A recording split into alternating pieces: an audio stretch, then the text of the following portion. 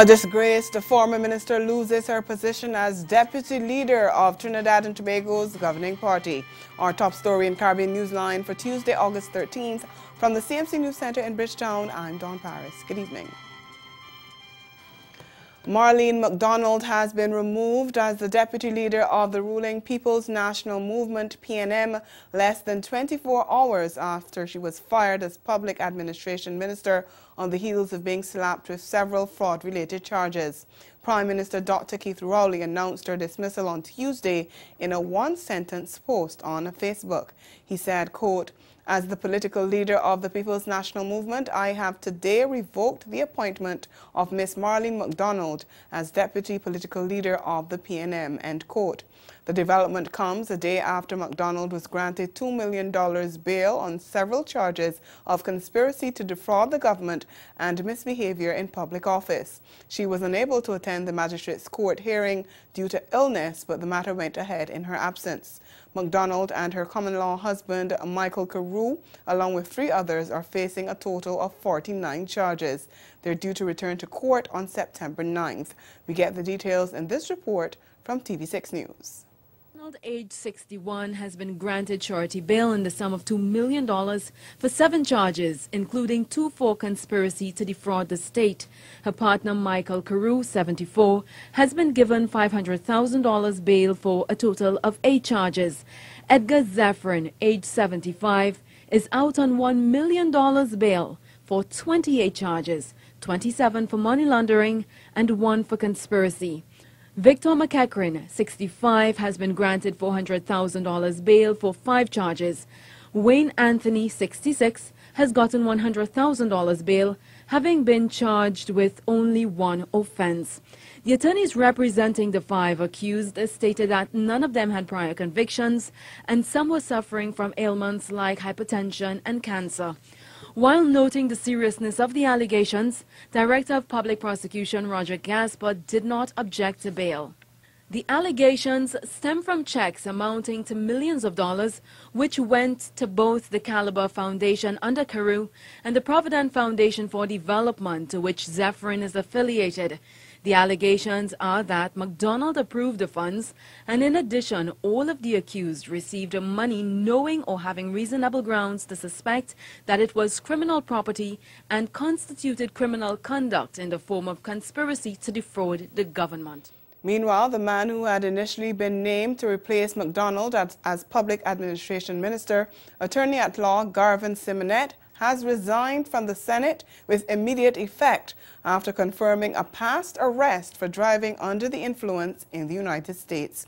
It had been announced Monday morning that Simonette would have been sworn in that afternoon, but that never materialized because of new information that came to the attention of Prime Minister Dr. Keith Rowley.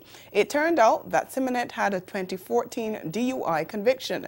We get more in this report from CNC3's Jesse Ramdale.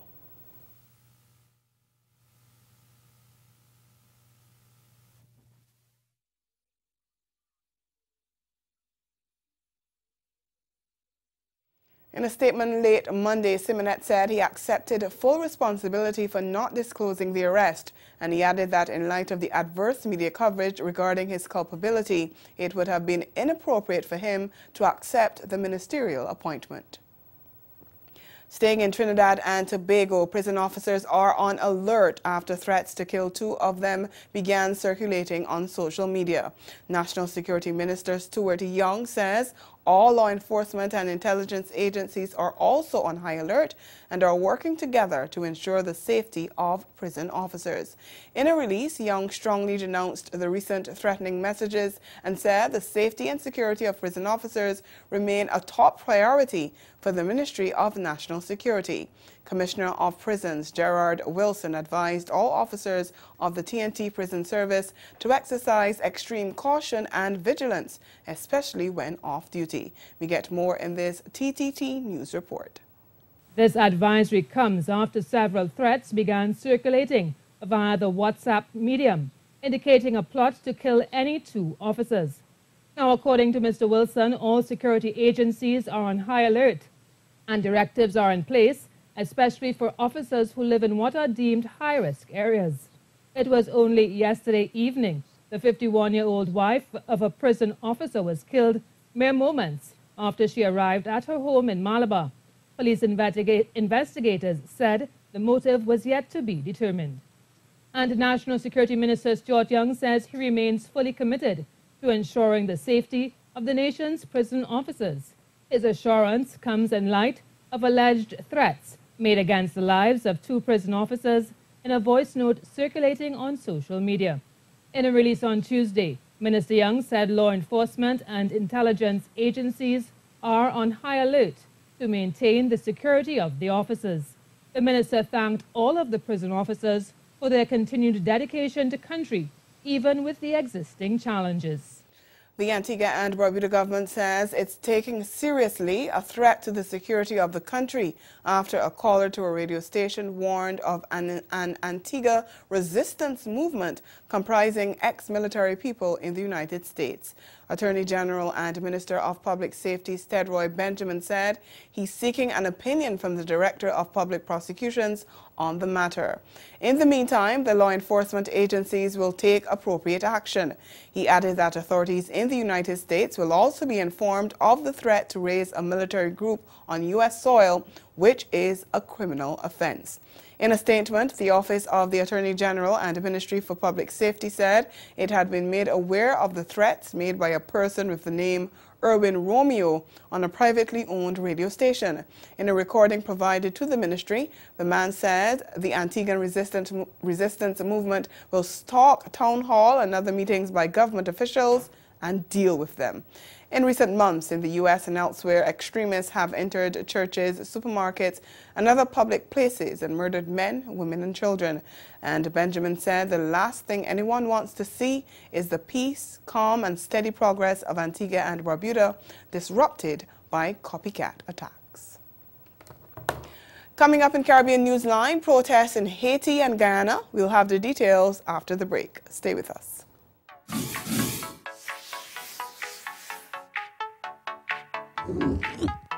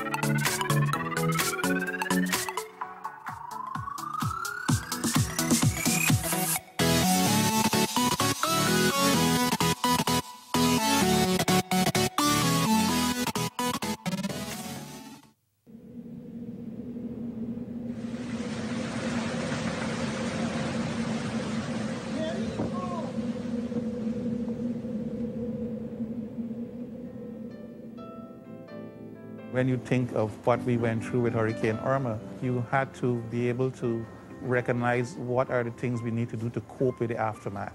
The psychological trauma, to me, is probably the most telling on a lot of people. Preparedness is the key.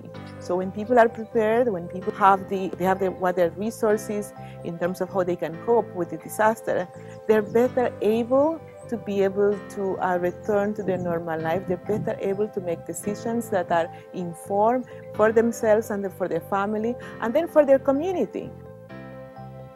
Be ready. Look, listen, and link.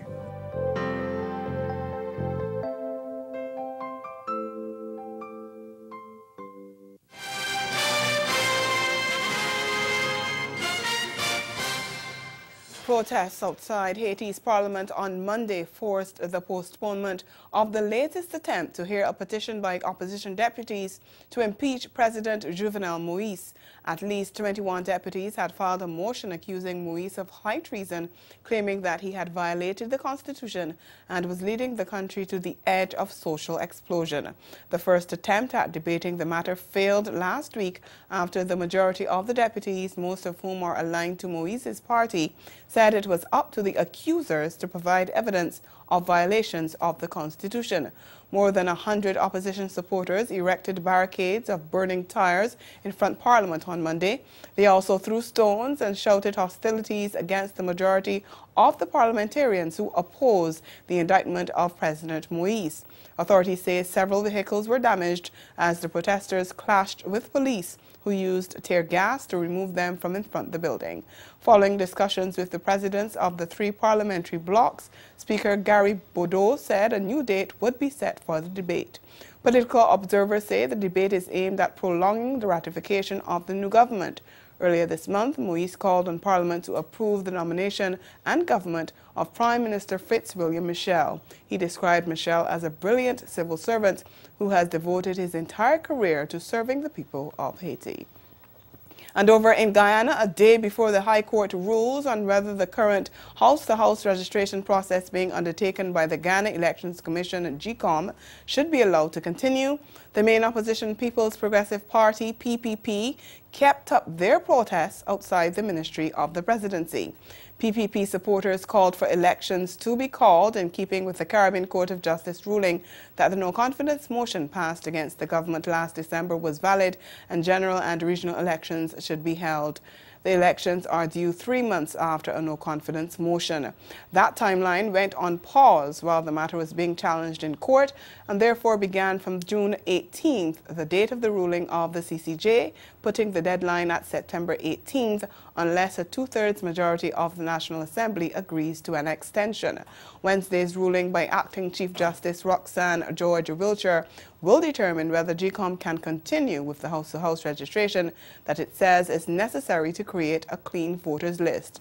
The opposition's presidential candidate, Irfan Ali, said the protests will continue until elections are held, even as President David Granger and opposition leader Bharrat Jagdeo continue to meet. It's another day in Guyana, another day without elections, another day in breach of the Constitution, another day against democracy, another day against the rule of the law. So as far as we're concerned, we have to be out here every single day until this government, government understand that they must adhere to the Constitution, they must adhere to the CCJ orders, and elections must be called. The, the meeting between the president and the leader of the opposition has nothing to do with the president executing his responsibility. And part of his responsibility is that he must dissolve parliament now. He must dissolve parliament now and call a date for elections. We are mixing things up. Outside of what is taking place in the court, as the CCJ would have ruled and the constitution says clearly, the president has a number of responsibility. In the present circumstances with the successful passage of the no confidence, the president must dissolve parliament and name a date for elections. There are calls in the Bahamas for firm action to protect the endangered conch. Earlier this year, scientists raised concern that Nassau's conch industry could become extinct within a decade due to overfishing. A study by Chicago's Shedd Aquarium and the group Conch Community said the Bahamas is one of a few nations where substantial populations of queen conch remain and a large percentage of conch meat and products are exported. A report from National Geographic also stated that in 2015, about 400 metric tons of conch were caught in the Bahamas, Half was exported at an estimated value of $2.3 million. We get more in this report from ZNS Network News. With research pointing to the possible extinction of the queen conch in the Bahamas within the next 10 to 15 years, Minister of Agriculture and Marine Resources, the Honorable Michael Pintard, says that the country must address a number of changes in the conch industry to save the mollusk, including stopping conch exports. One-fifth of all the conch that is uh, harvested in the Bahamas is exported. And while in the minds of many that is a small number, we believe that 600,000 pounds is a significant number. And, and, and therefore, again, we are concerned about the livelihood of those that have uh, built a business model on exporting, but we have to make this decision and, we, and, we're, and we're making it. Uh, we have been consulting nationally, not just with fishers who are extremely important and uh, processing houses uh, or environmentalists, we believe the general public have an opinion, and their opinion ought to be respected as it relates to conch, which is an iconic species. And following a petition and the call for a closed conch season, Minister Pintard says that no official conclusion has been made yet on whether or not a closed conch season will be implemented. He added, though, that ministry officials are willing to hear all suggestions for a closed conch season. Certainly prepared to look at every reasonable suggestion uh, that is made. Uh, uh, successive governments has done so. We've looked at the lobster uh, crisis that we faced, and we had a closed season. That is now a marine species that is being harvested and managed in a sustainable way. And with conch, again, we, we are again allowing the science and consultation to drive our decisions. Ahead in sport, West Indies ODI captain Carlos Brathwaite dismisses suggestions that there's a lack of confidence within the team in the current series against India. We'll be right back. As a small business owner, you have to make sure your technology is available and operational at all times. But what happens when your network crashes, your email goes down, or your user systems get a virus? You may try to fix the issue yourself, but you can end up making the problem a lot worse. At Digital Networking Solutions, we're more than just people who try to fix your computers. We monitor, maintain, and support your IT systems so that you can focus on growing your business to its fullest potential. When you sign up for one of our IT support plans, we get familiar with your IT environment beforehand, so we can manage it proactively as if it were our own. Your business deserves the best IT services available to ensure it functions to its maximum efficiency. So give us a try today Email or call us, and we'll give you a free network assessment to determine whether now is the time for your small business to adopt digital networking solutions for a smoother, more reliable network experience. The biggest summer concert festival ever. ever, ever. Saturday, August 24th, Queen's Park Savannah. One Caribbean. Many beats. Carifesta Island Beats Super Concert. The sound of the Caribbean. Get ready for Shaggy. The King of Soca, Machel Montano and his band. The renowned Kassav. Nailah Blackman. Alison Hinds from Barbados. The Calypso Queen of the World, Calypso Rose. Antigua's Ricardo Drue. Neval Chatelal, Nishard M. Ricky Jai. Voice. Blacks and the All Stars. Carifesta Island Beats. One Caribbean. One people. Many beats. Powered by NLCB, Blue Water, Caribbean Airlines, Digicel, and Southern Sales Car Rentals. Barbados, renowned for its pristine beachfront and fantastic weather, continues to leave quite an impression on newcomers to the island and returning visitors. Caribbean island, quite popular as a vacation hotspot, is not only beautiful due to its natural aesthetics. The island of Barbados continues to grow in popularity because of unique connections developed with our people, our culture. We can't wait to welcome you.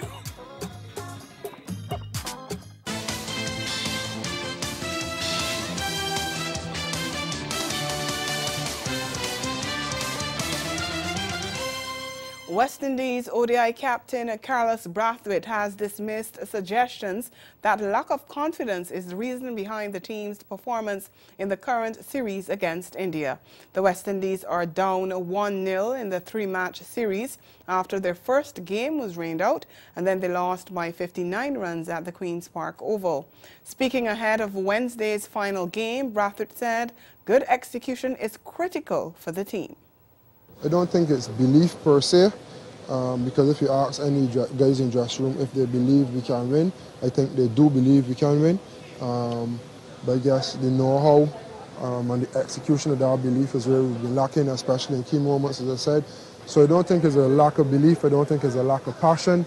Um, and in most cases, not even a lack of skill, but we just haven't been executed what we wanted to execute um, in key moments of the game, and it's hampered us um, for well, since the England series for the majority of the World Cup and then in this last game.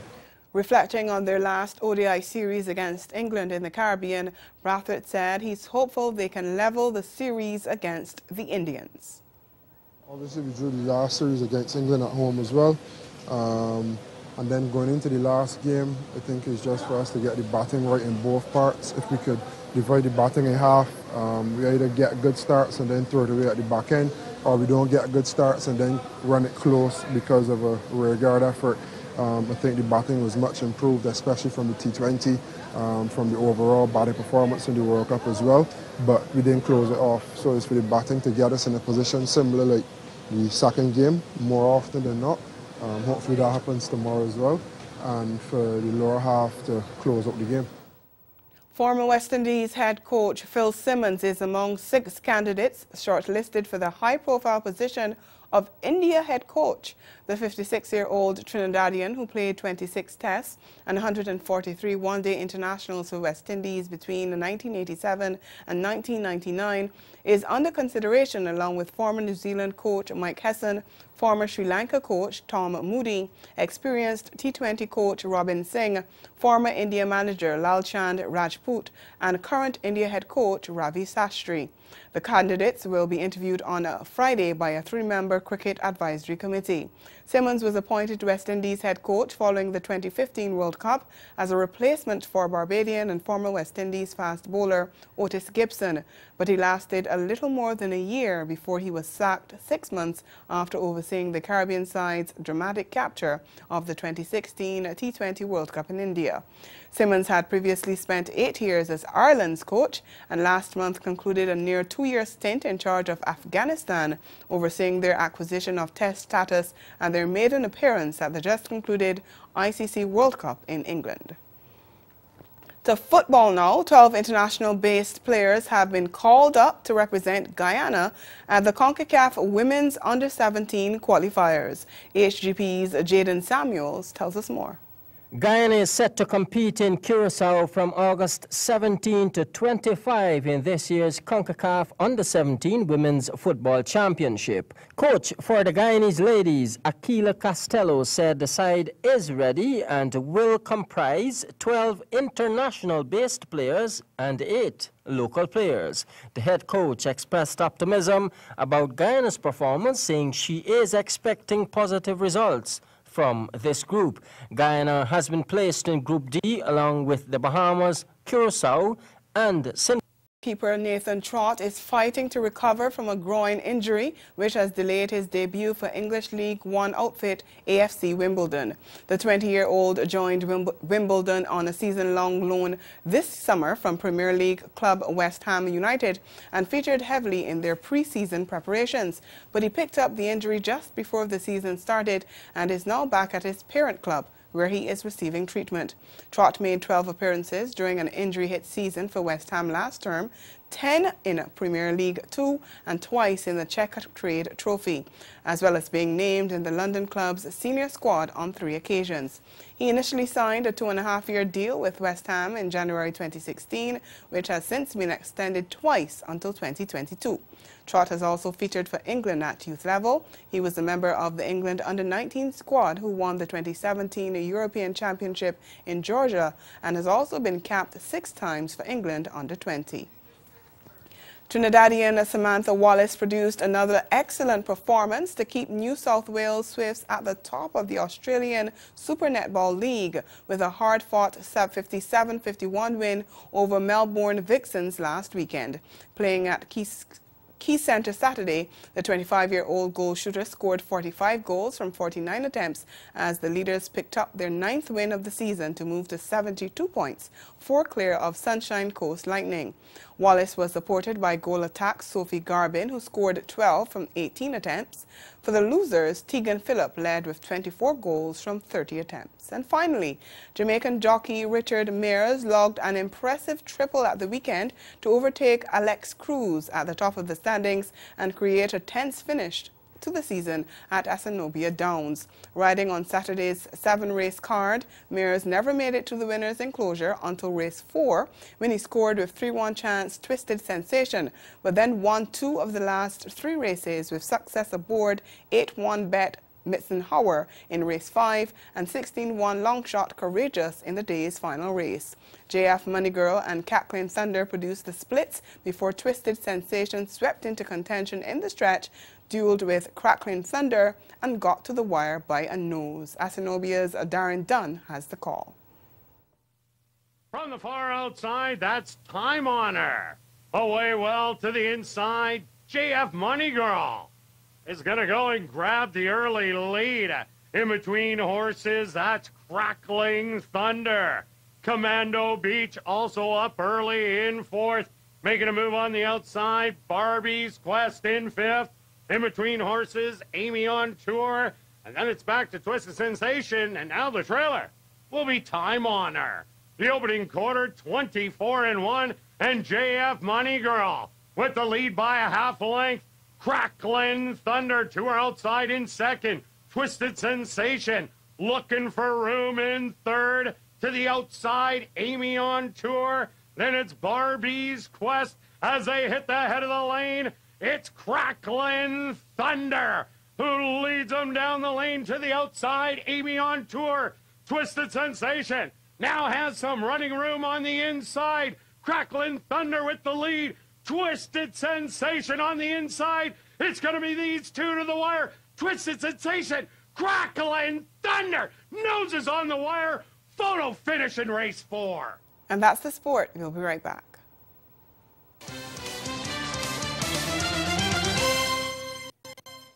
Barbados renowned for its pristine beachfront and fantastic weather, continues to leave quite an impression on newcomers to the island and returning visitors.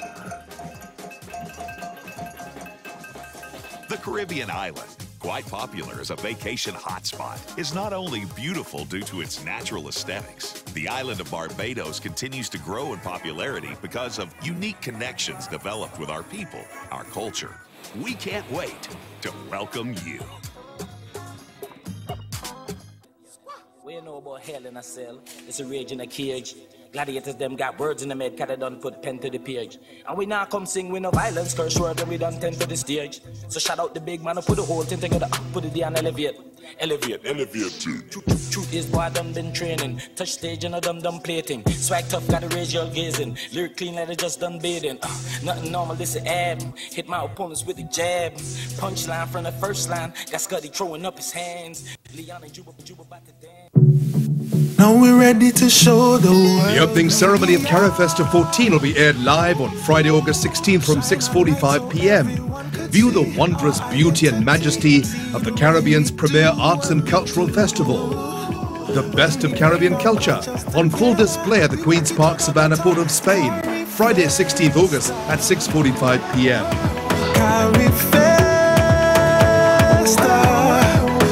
Carifesta 14 Trinidad and Tobago.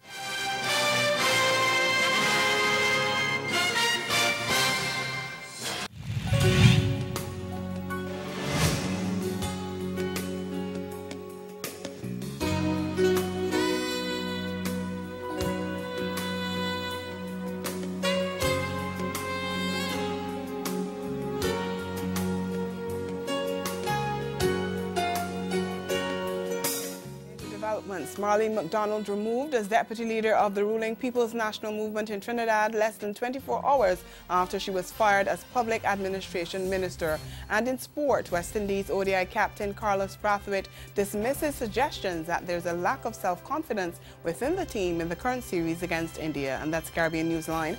For news and sport round the clock, subscribe to canonnews.com. And for more of our programming, log on to caribvision.tv and check out our YouTube channel. We'll be back here again tomorrow, but from all of us at CMC News, thank you for watching and have yourselves a good night.